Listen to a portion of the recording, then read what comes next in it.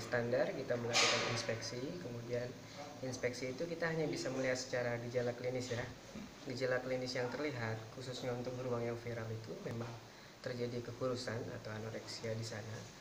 Tapi setelah saya usul ke kipernya memang tidak ada perubahan makan minum apa segala macam dan memang kondisi dia dari awal karena beruang ini tuh perpindahan dari ternyata perpindahan dari kebun binatang Pontianak. Dari tahun 2008 dan kondisinya pada saat dia diambil pindah dari Pontianak dan kemudian itu memang kondisi dia sudah eh, mengkhawatirkan. Jadi ceritanya memang tidak tidak ada perkembangan yang signifikan untuk badan dia memang kurus. Tapi memang sampai saat ini dia mampu bertahan dengan kondisi seperti itu. Nah pas saya ingin melakukan pemeriksaan lebih lanjut karena kan untuk melakukan pemeriksaan lebih lanjut itu harus ada pemeriksaan eh, langsung palpasi istilahnya atau sentuh langsung ke hewannya cuman pada saat itu dokter hewan juga tidak ada di sini jadi pemeriksaan yang saya pribadi lakukan itu hanya sampai tingkat inspeksi hanya melihat gejala klinis yang terlihat ya Hmm. kekurusan itulah Hmm. tapi saya tanyakan kepada kipernya tidak ada perubahan pola makan makan dia tetap sama jatah yang diberikan ke beruang yang lainnya yang ada di situ pun Hmm. itu sama diberikan dengan yang Hmm. sakit Gitu. Nah, kalau kurus ini pertanda sakit atau memang alamiah gitu, Pak?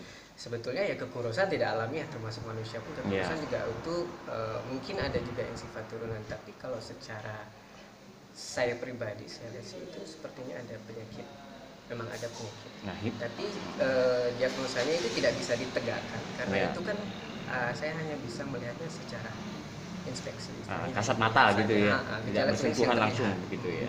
Karena untuk hal itu yang lebih lanjut biasanya memang ada pemeriksaan eh, rutin tiap bulan yang Hmm. umumnya biasa dilakukan oleh Hmm. eh, kebun binatang lah bahasanya Iya. karena sindikasi untuk kebun binatang palpasi tidak sentuhan Hmm.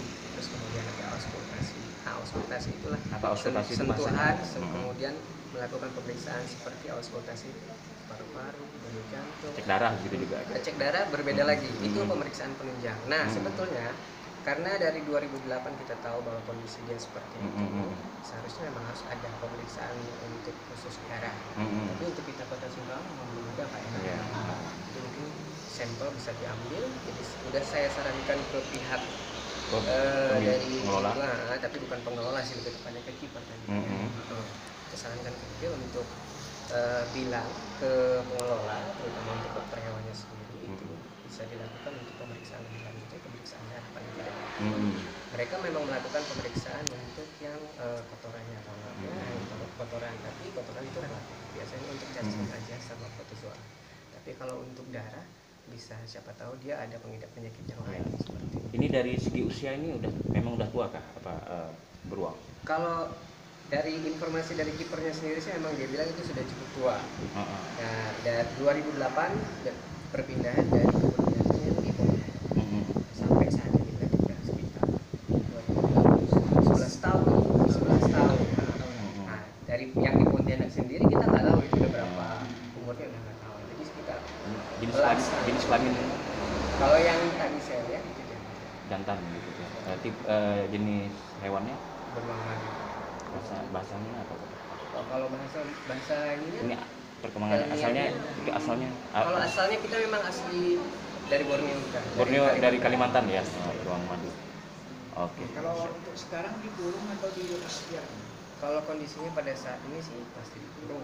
Hmm. Cuman memang ada permasalahan di sana antara kenapa akhirnya itu menjadi viral ya Pak ya? Ya, itu karena eh, dia di sana sebetulnya sudah disarankan. Ada permintaan bahwa dari teman-teman yang ada di situ untuk mengadakan atau membuat kandang karantina.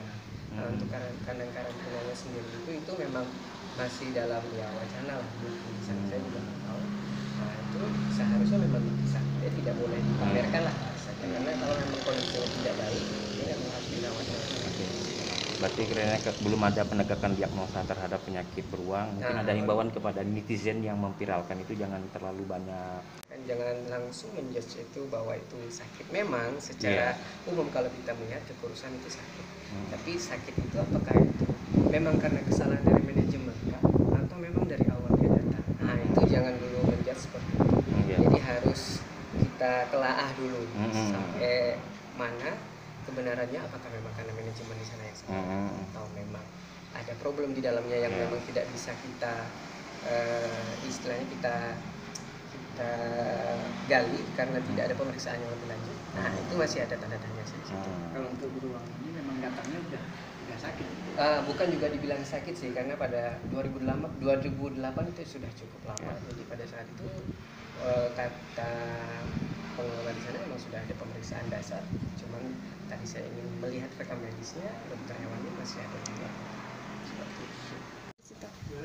geser kak geser kak geser kak Dah ya jat tiga jat bang. tiga ya Soalnya susah nak ambilnya. Dari Brigip, ya.